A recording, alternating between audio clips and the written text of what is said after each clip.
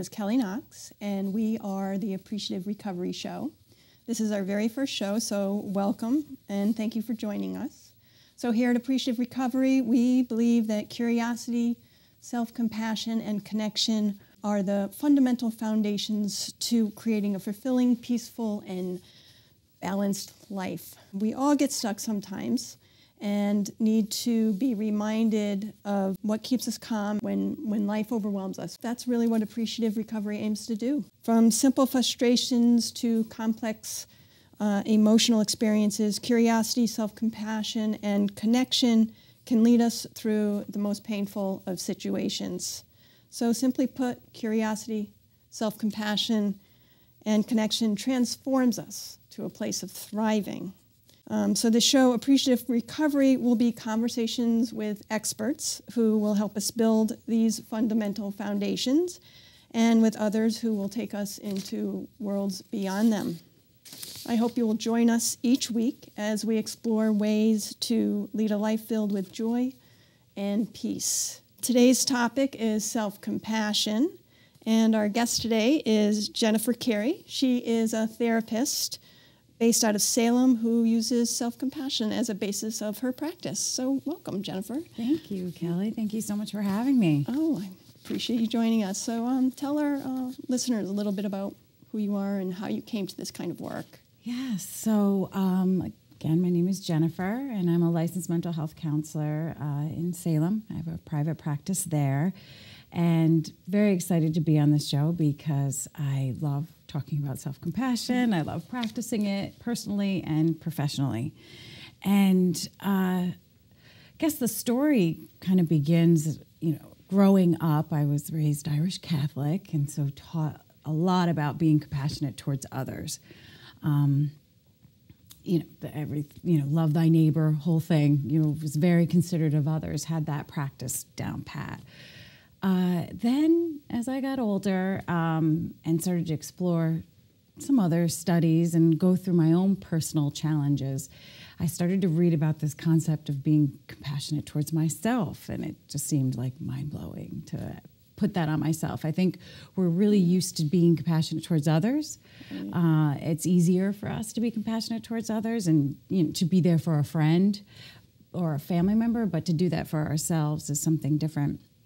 So, in my earlier uh, mid, actually maybe more mid to late 20s, I was going through some painful experiences with relationships and reached out to a couple of books. And there was one book, uh, Mastery of Love by Don Miguel Ruiz, mm-hmm. that actually started to talk about how we're, we're kind of born with this ability to be loving towards ourselves and even compassionate or forgiving if we make mistakes, but we lose it as we get older, uh, whether it's parents saying things or society. So that book kind of opened my mind to it. And then uh, Pema Chodron, hope I'm saying her name right, just checking the pronunciation, but uh, Pema Chodron has a Pema Chodron, yeah. has um, the book uh, When Things Fall Apart.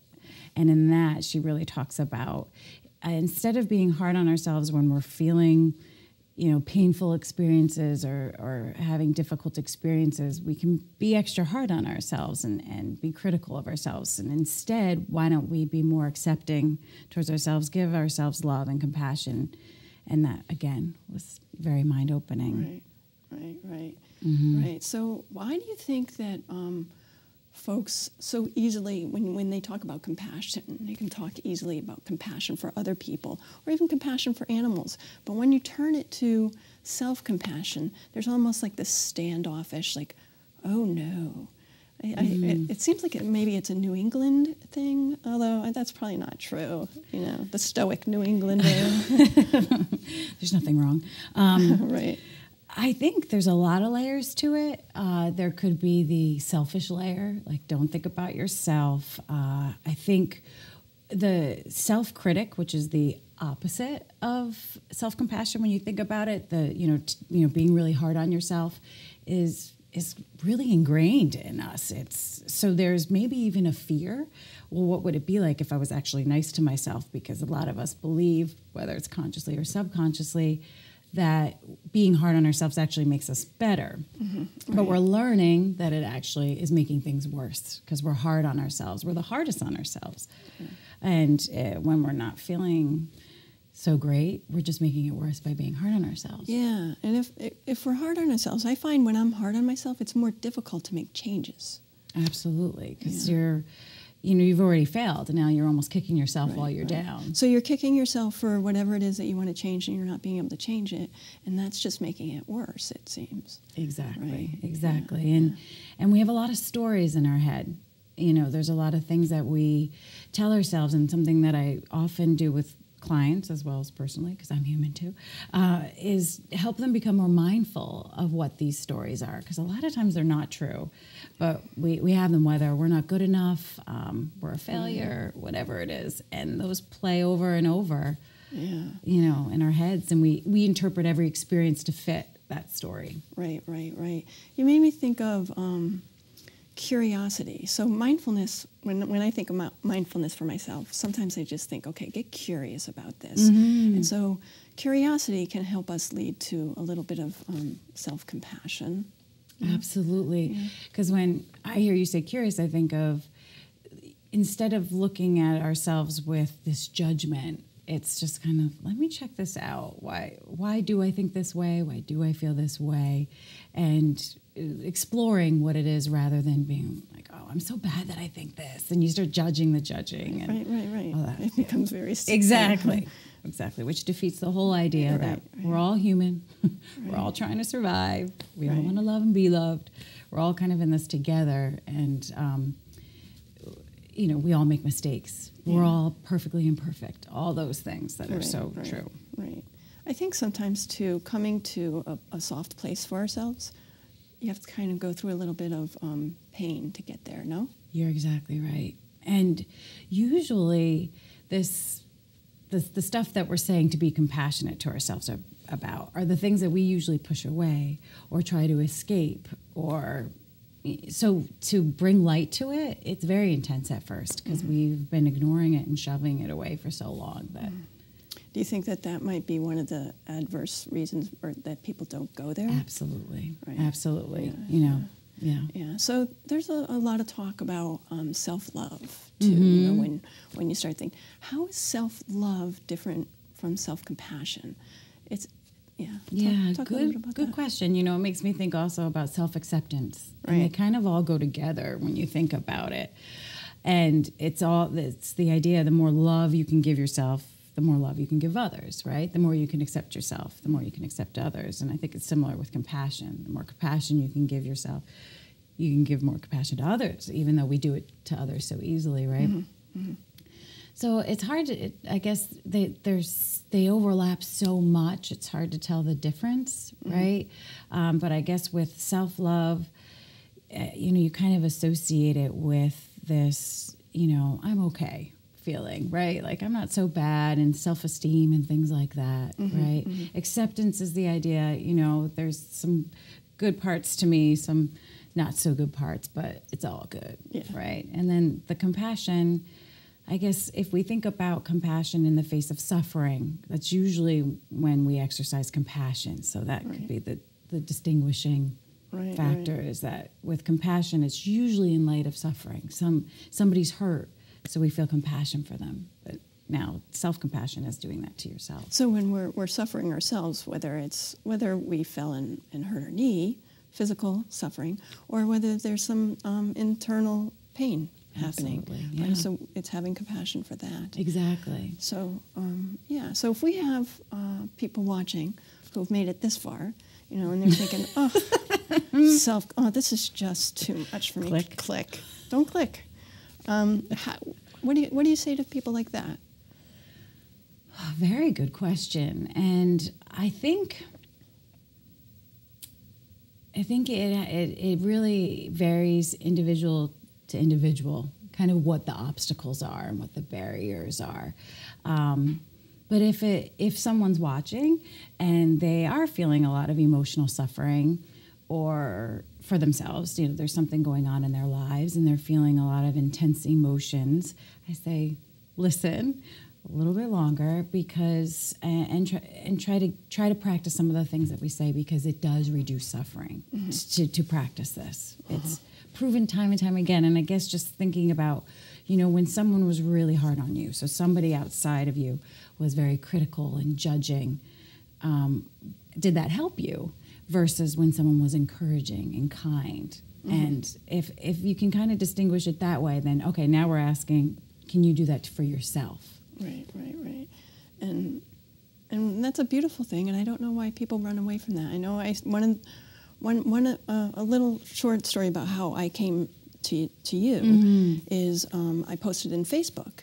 Um, you know, I'm looking for either a therapist or, a, or an academic who who deals with self compassion to talk to on this show.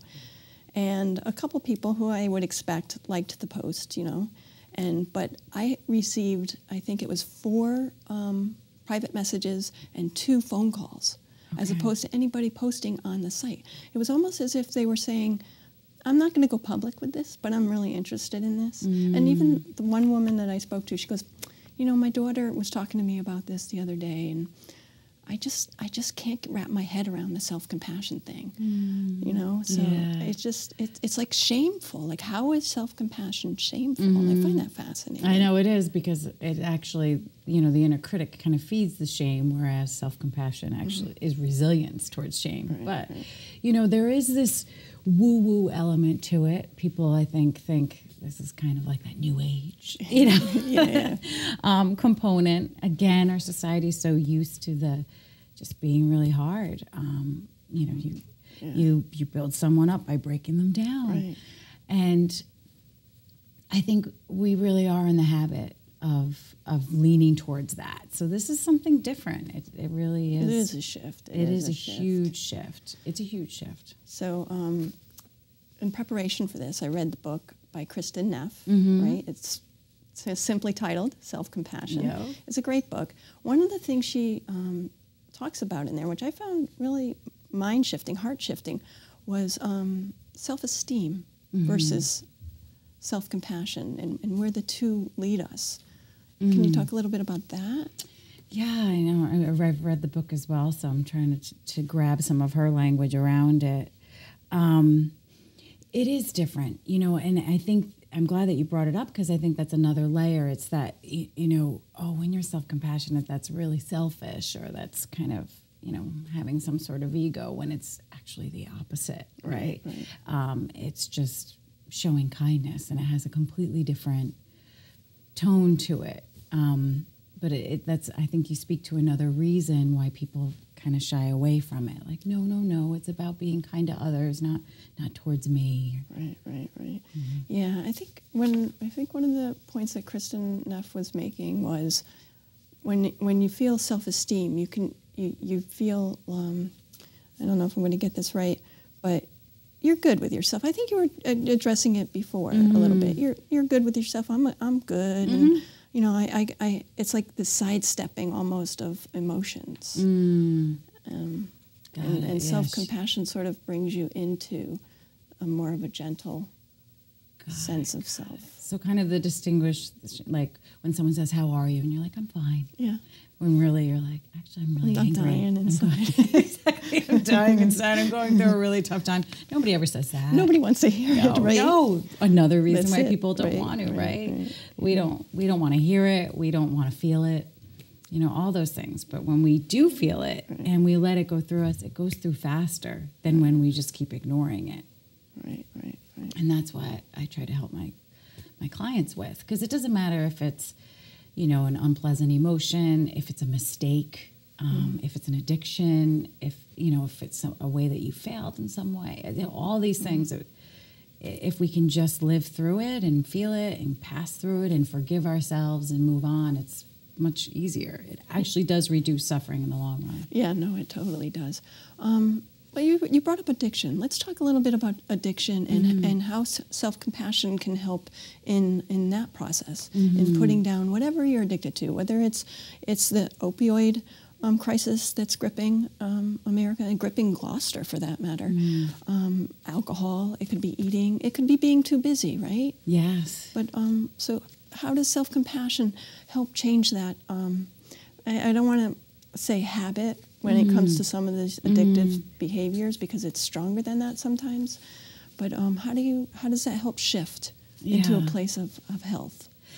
I think in more than one way, and the, the two ways that I'm thinking about is is number one if you're actually processing kind of what you're feeling rather than numbing it with something else, then then you're going to have more resilience and be able to move things more and not need the substance to to handle it. Mm-hmm. Um, so there's a little bit of strengthening that way.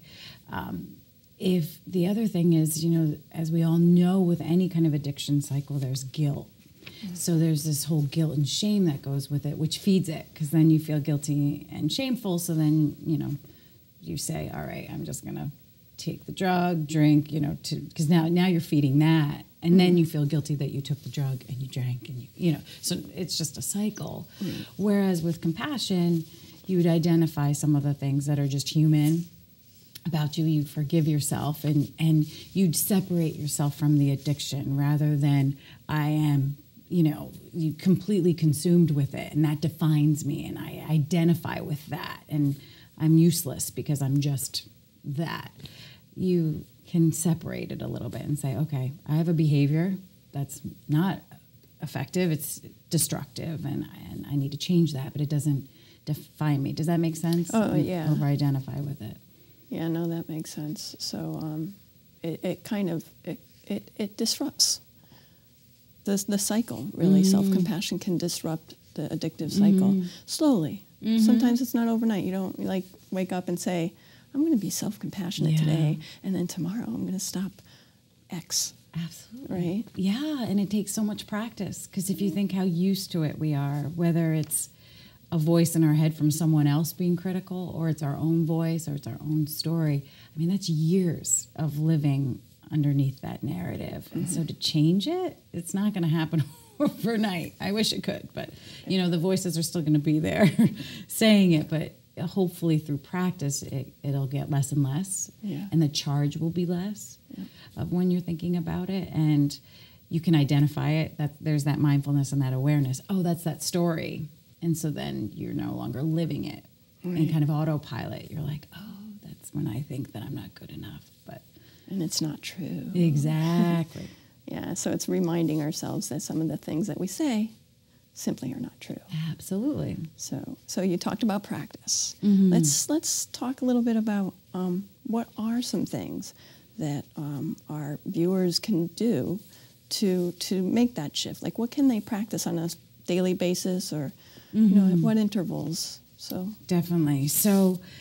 You know, just again, I know I, I speak of it a lot because I use it a lot, and that's mindfulness. So just starting there, if you if you can use journaling, or a trusted friend or a trusted professional to kind of say some of the thoughts. A lot of times, just saying them and putting them out can just take away some of the energy and help you be aware of some of these inner critic storylines mm-hmm. and things like that. So, give examples of some of the um, storylines that we say so that people can hear.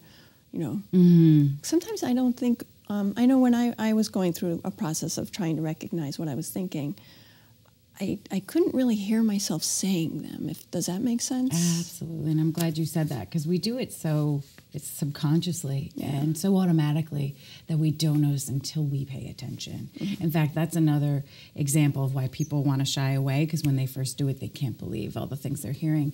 Common ones are. Uh, they can be situational. You know, after you have a conversation with someone, you you know, why did I say that? That was so stupid. I can't believe I said that. You know, that's a very common one, believe it or not. And people get so upset, like, uh, and suddenly you're anxious and even depressed because of, you know, something you said that was fine, right? Um, I know. Even I, if it wasn't fine, what is it? What are you going to do? What are you going to do now? What are you going to do now? Adds and, a whole other thing, right? And how does it? How does that help it? Yeah, exactly. If we're beating yourself up over it, it's in the past. You did the best you could, right? right. Those are all encouraging, compassionate thoughts to counteract it. Right. Um, the I'm not enough one. I don't think people, it, it may not present itself as that, but Um, some of these people that feel like they have to go above and beyond for things, or just always feel like they fall short. That's that's, that's somewhere that's a storyline or a voice. Um, and then it can be you know other things that are really specific you know i'm stupid i you know just these very negative um, uh, interpretations. And and it can be after an experience you know like a precipitating event it can be uh, just uh, some sort of opinion that they have of themselves. It can be because they're feeling, for example, if someone's feeling very anxious and they're having really intense feelings, sometimes they'll judge themselves for that. Um, you know, why am I? Why am I so scared? Why? You know, voices or stories like that. Yeah, yeah. So, um, so aside from meditating, how, how does someone become mindful? or mindfulness.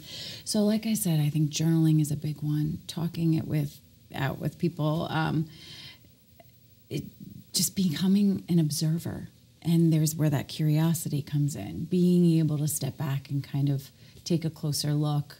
Why am I feeling these intense emotions? And a lot of times they're followed or be or started with thoughts, and so just taking a moment to kind of figure out what that is. Okay, so mindfulness. What's another practice that um, folks can use? So another thing is, um, I think, uh, self-soothing. Um, any kind of self-soothing ritual that people can do, and that can be anything from letter writing. You know, writing writing a letter to yourself as a friend. Um, I know this is where people don't don't shut it off. this is probably where people are like, oh, geez. Um, but you can you can you know we do it for friends. Why not shift that energy on ourselves when we're going through a tough time? So writing a letter to yourself. Another thing is gestures. Kristin Neff is really big about that. She talks about the same gestures that we would give to a friend. Why aren't we giving that to ourselves? Like touching your hand or um, you know touching your chest. Just something that people don't even have to know you're doing um, or even in the confines of your own home you know giving yourself a hug. I mean you think about how powerful touch is. I mean we could talk about all the science that's related to the power of touch right? Right. and what it does to people, what it what um, it releases in your brain, uh, you know, in terms of connection and bonding, and why not do that to ourselves when we're feeling overwhelmed with you know difficult emotions? So some of those self-soothing things. Self-soothing. So now we have mindfulness, Mm-hmm. self-soothing. Mm-hmm. One more, one more practice that people can take away. Well, I know uh, there's one that I could even do if you want. Um, It's um, I don't know if you've heard it. The Pema Chodron's Tonglen. Um, it's it's kind of a meditation practice. Okay, what what is that? So basically, Tonglen means um, to take in and to give give back. And I'll describe it, and then if you want, I can guide you in it. Okay. Um, so basically, the idea is that if we can be present with our own suffering and acknowledge it, and then replace it with what we want to replace it with, uh, and practice that for ourselves as well as other people going through difficult times, it, it helps us move through it Okay. reducing the suffering and it helps us become more compassionate for ourselves as well as compassionate for others. So i'll describe it and then i can uh, lead you in it. So just describing a little bit more basically if we take the example of an inner critic so if someone is acknowledging that they're really hard on themselves about something taking a moment you know you can uh, close your eyes or whatever you want and just kind of breathing in that feeling of being harsh on yourself and then exhaling what you would wish to replace it with. So usually it's peace, mm-hmm. happiness, kindness, you know, just kind of letting go of that that harshness for that example, right?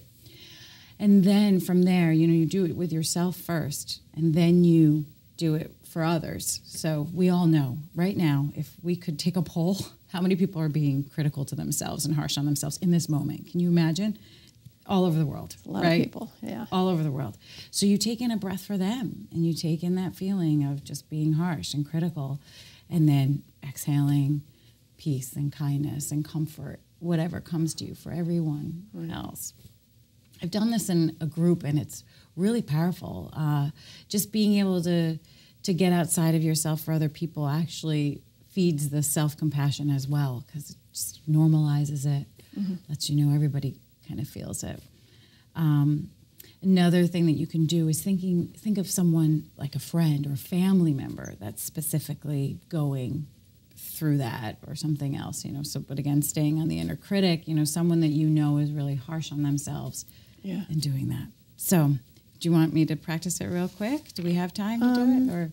I think we're running out of time. Okay. So but what i'll do is i'll put up uh, a practice on the website so i'll give the um, listeners uh, the website to appreciative Perfect. recovery and they can go online and they can try the practice at home. That's perfect. Right. Yes, exactly. And um, um, so so thank you so much for for joining me today and, and being my first guest. I know, I feel so honored. It's so exciting. Yeah. So I'm looking forward to this moving forward. Mm-hmm. And um, mm-hmm. um, next month we're actually going to be talking about curiosity. I don't have a guest yet, okay. but that's going to be the topic. Mm-hmm. And um, so I'm looking forward to that. So um, I want to thank you also for joining us today. And um, I wanted to let you know that you can learn more about Jennifer at her website, which is um, www.jenniferhcarey.com. So don't forget the H between Jennifer and Carey. Because you'll go to a different website if you do.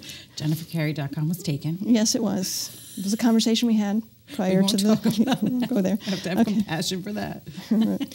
um, and you can check us out online, appreciativerecovery.org.